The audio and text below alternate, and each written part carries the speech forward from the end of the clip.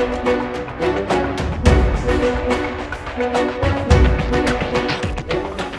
تحيه لكل مشاهدينا مشاهدة ومتابعي شاشة قناة النادي الأهلي في كل مكان عقب انتهاء تدريب النادي الأهلي اللي طبعا أقيم على ملاعب نادي العين. وخلينا نشكر مسؤولي نادي العين اللي فتحوا أبواب النادي لاستضافه تدريب النادي الأهلي. ودايما بنقول العلاقة اللي بتجمع ما بين النادي الأهلي ونادي العين الإماراتي.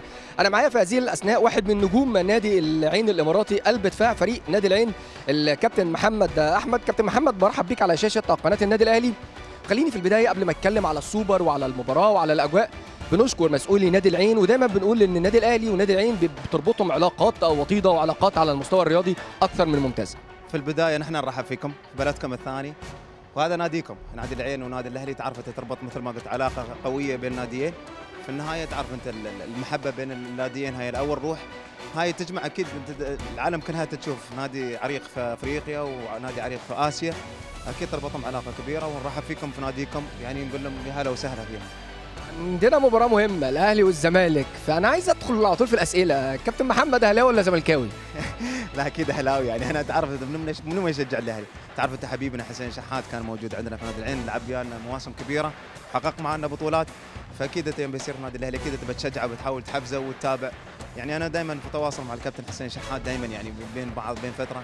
حتى أنا نزلت القاهرة واستضافني هناك في بيتهم و كان عندنا وليمه عشاء والحمد لله يعني تعرفت العلاقة هاي وايد حلوة بين اللعيبة حتى من واحد مثلا يتغرب مو يتغرب إنه بلده الثاني هناك حتى مصر ويصير ويشوف اللاعب يستضيفه ويستقبله.